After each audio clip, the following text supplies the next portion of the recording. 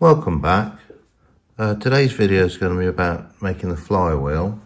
Um, I've elected to make it a little bit different and here it is all finished and painted. Um, uh, it has this uh, collet system which you can buy these commercially, not a lot of money, they're not worth making yourself. Um, and as you tighten these bolts up it closes this collet here.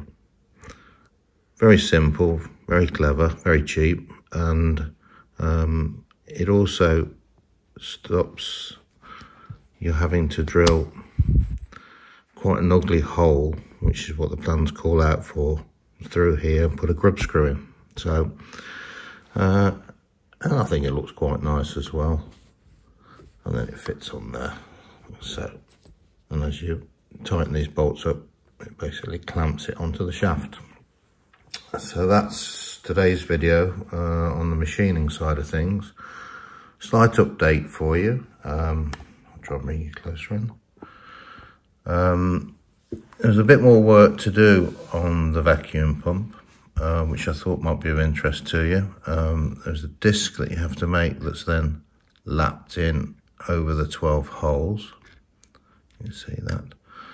Um, this has to be threaded. I'm waiting for the die to come in at the moment, 732 die, um, to then put another sort of holding nut, I think it must be, uh, to stop this travelling up too far.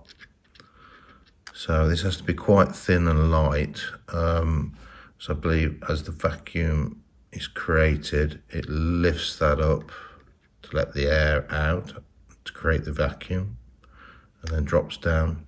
So it's quite simple, um, but it works quite well.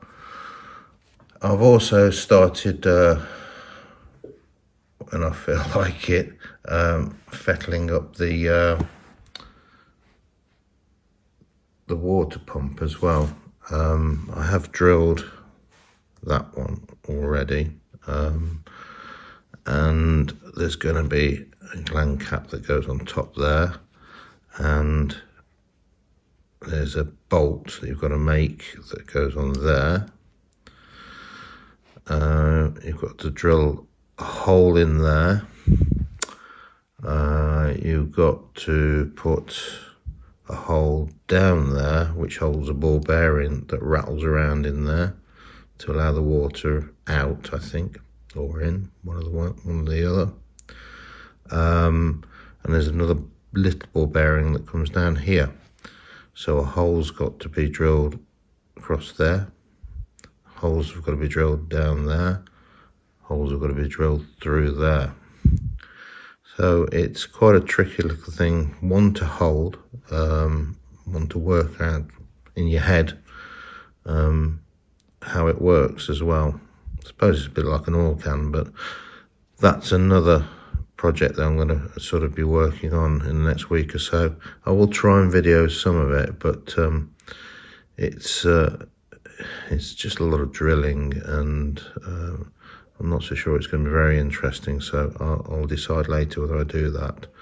Uh, but everything else is coming on uh, lovely, really, and I hope you enjoy the, the flywheel machining. Um, I've speeded it up as normal, and uh, anyway, that's today's video.